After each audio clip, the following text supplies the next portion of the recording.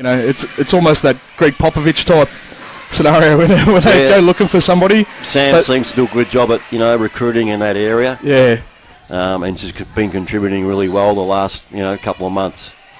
Wish a really good baseline out of bounds play there. Gets Klara Wischer at two. A uh, really important aspect for all the juniors watching today, isn't it? It's um, ball's got to go pass. inside. And yes, the- yes and it the- is. At our Cobras, we, we call that penetration. Great players can score, but also have a high assist. Good facilitator. Ratio. Got to be a good facilitator as Wischer gets a block from behind. Uh, Claire K-Mac. Yep, Yep. another another Cobra junior. Yeah. Um, First rebound there for Nicholson again. Wischer for three. nice. Again, you know that draw the inside. Lauren Nicholson and rewarded herself with two. Downey comes up, breaks up the play.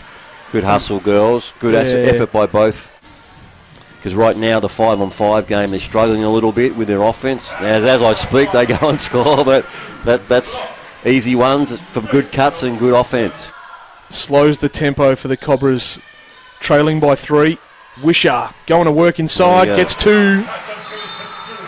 Here we go. There, there you go. That, that was the inside out.